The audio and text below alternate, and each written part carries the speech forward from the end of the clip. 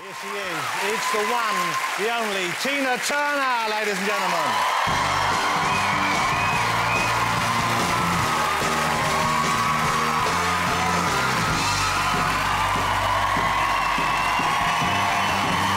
Fantastic. Thank you so much for coming on. Lovely to have you here. Wow, look at that. Okay. Come and sit down. All right. Tina.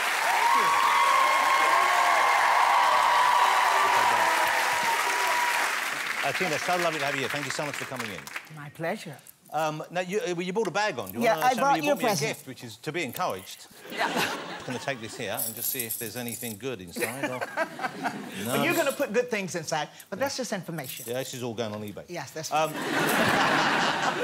Tina, so lovely to have you here. Thank you for joining. Thank you. Um, let's get this straight. A- am I right in thinking you retired from performing? Is that right? Yes. Okay. When did that happen? About 10 years ago. Okay. And, and what was the thinking? Why did you want to stop performing? You know, I was always away from home, always away from home. A woman missed doing house things, decorating and shopping and just living at home, seeing the seasons of home.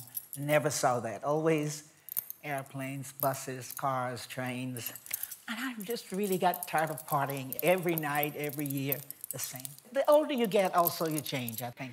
Now, the reason why Tina's in town is they're announcing uh, a very exciting event. It's starting in March next year at the Aldwych Theatre. It's on sale now for the musical of your life, Tina. Right there, the Tina Turner musical. And I imagine most of us are going to want to go and see that. Because what a, what a life. Now, now um, what's the shape it's going to be? Is it going to cover everything in your life? Is it going to start from, from your childhood and go through to the, the various stages of your career? Or is it going to hit the ground running with you performing? No, no, it starts from Nutbush growing up. All of involved with the cotton fields and the church house, gin house, schoolhouse, outhouse, all of that's really quite old now, but it's still there. It starts with that. It starts with the grandmother raising me and uh, all of the early stages into moving into teenager and then into St. Louis. Now, Nutbush, you know, of course, I know Nutbush. I think we all know Nutbush because of the song, Nutbush City Limit. But Yeah. is Nutbush, Tennessee, that's where you were born, that's where you grew up. Nutbush, Tennessee is right. Yeah. That, ah, that's a photograph. Now, that, now, is that a particularly quiet part of the town, or is, or is that the town? that's the town. wow. when was the last time you went back to Nutbush? Um, a very long time ago, actually, it was in the early stages with Ike and I went back and visited the people that I had worked for. I was very proud to tell them that I was a star and all of that. Then we went to my grand, the area of where I lived with my grandmother. All of those houses were torn down, but it was nice. I, I could feel the memory of where I was there years ago. I mean, I can't even tell you how many. You, you mentioned Ike, of course. You were married to Ike for many years, and, and of course, there were bad things associated with that relationship, and, and, Yeah. uh, and people know about this. It seems particularly um, relevant now, with what's going on in the world and what's going on in show business. But uh, you walked out, you just walked out. Now, how hard was it to get out of that abusive and, and dangerous relationship? Well, it was very difficult and dangerous because Ike was a violent person, and at that point he was on drugs, very insecure, and I had no money, I had no place to go, but I just took a chance. I said the way out is through the door, and while he was on one of his sleeping times, I just left the hotel, went out the kitchen way and down the down to the freeway actually, and I remember something that during that time, I, I didn't measure the speed of a car, and I was running across the freeway, and this big truck was coming, and it went rah, and it, it felt like it was over me. And I thought, well, I won't try that again. But I had to cross that freeway to actually get to the hotel across from where we were working. So you took your life in your hands just to get away Yes, from there? yes. Yes. Right there. Um, because when you were with him, he kept all the money from the act, didn't he? He kept all the money and, and uh, he He kept basically- everything. He always said, when you leave, you will leave like you came. Right? Wow. And why was it at that stage? What was it that happened then? Why was it you decided now I, I can take no more? Had something specific happened, or was it just the, the build up over the years? It was just time to not take any more. It was constantly abusive, other things going on. There was no control, there was no freedom. It was just the sameness, sameness, and the violence. And you just get fed up and you say, life is not worth living if I'm going to stay in this situation. And I stayed there as long as I did because I was trying to help him from the beginning when he told me about his life and how hard it was for him to get a career going. And I promised him that I would never leave him. And I actually stayed because of that promise. But then it got to the point where it became really bad, really bad. So it's time to go. And, you know, we've talked a little about your, the hard times you had with Ike, but what are the high points for you in your career? When you look back, what are the things that you look back on and you think, well, I, I enjoyed that. That's one of the most enjoyable things I had. One of the things that I remembered was the first time I got a standing ovation or an encore. It was a television show, and I had finished and gone off stage, and they started to... And I, I remember I came back out, and I was so excited, and I said, do you mean it? I had never had an encore before. Wow. But I'm sure you had a few afterwards. Well, yes. After that, I got used to it and I found out how to handle it and yeah. thank the people and all of that stuff. You wait till you try to leave tonight. They're not going to let you go.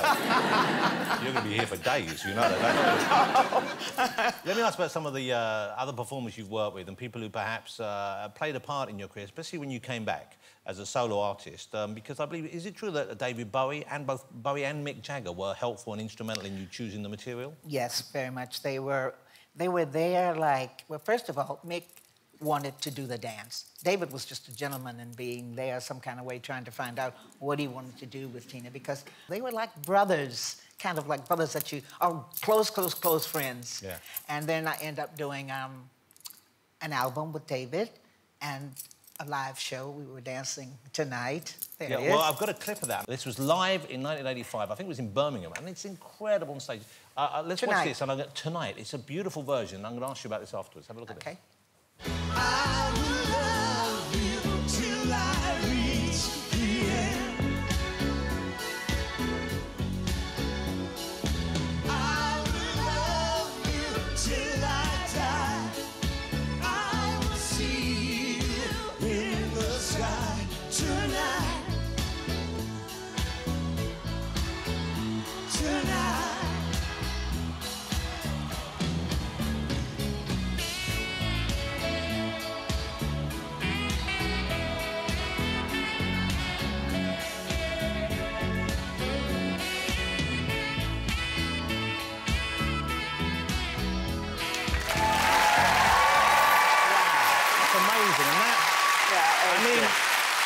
Don't they? You, you look like the two most beautiful people on the planet. And my thought watching that is you're going to get a room straight after this because that was chemistry, Tina. that was chemistry. What did he say to you? Do you remember what he said no, to you? Because you burst out. uh, yeah, well, that's. I mean, when was the last time you spoke to David? You must have been close with him because, of course, it was just enormously sad, and so many of us were, were you know, saddened and moved by his death. When was the last time you were in touch with him? I think I saw him in Brussels. And that was the actual last time that I went to his dressing room and we said hello and talked about the show and where he was going. And I remember the last thing he said, love you, Tina. Love you, David. And that was all. Next thing I heard, he was sick. And then after that, I saw Iman and I asked her how he was. And she said he's okay because they kept it undercover. And then the news came that he was dying. Yeah. So it's a terrible surprise to, to almost all of us. Yeah. Um, and you don't sing professionally anymore, but you must sing to yourself. You must sing in the shower, or you sing, you sing to your husband. I tell you what song I sing. I want something just like this. Da, da, da. I like that. I love love that. That one I sing. but if you hear a track that's associated with you, you must want to hum along to it. I mean, if, for example, you heard something like this going on, and this was just in the background, and it's rolling in, it must be kind of hard to resist just letting a tiny bit, just a little, you know... I don't sing it like that anymore. Oh. Oh. I so thought we had you then. I, I so thought we had you. Let's hear a little bit how you changed okay. it. Okay, it started the strumming of the guitar, and I add a step that way. That. Every now and then, kind of like to do things nice and easy. then we change it you know why? You'll say, why? You have to say why. You know why?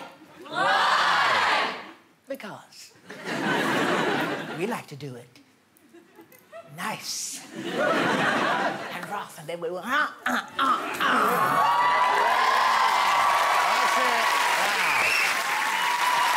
got arms big right here.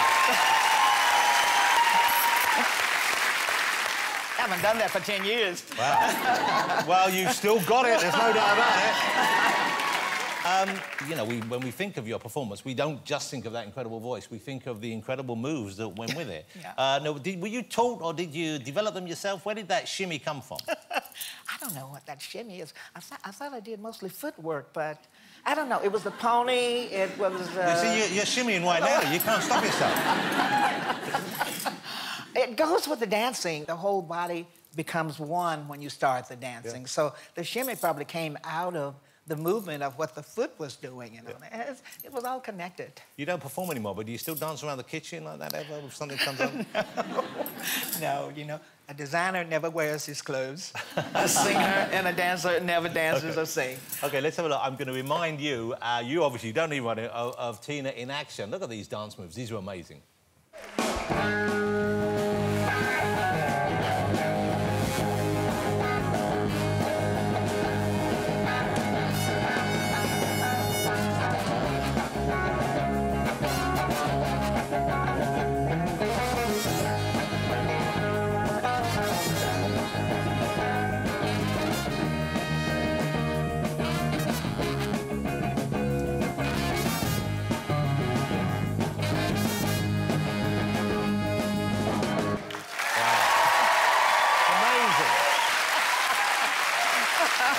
That was from a Dutch TV special we got that from.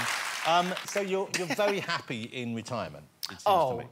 yes. I tell you, my last working day was here in London, and the two nights before uh, the, the tour was ended, I got a really bad cold, and so I had to stay two days later. So I went, I did the shows, and they were terrific. And then I got on the plane, and I felt like it was the end. I was with my cook, I was with my husband now. I said, that's it.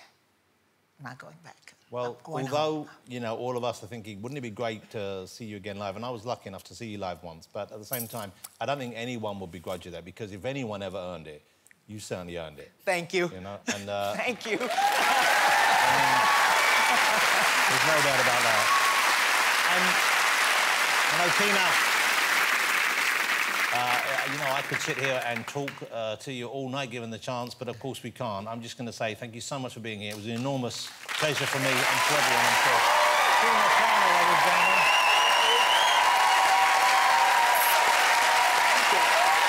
Look, Tina, standing ovation.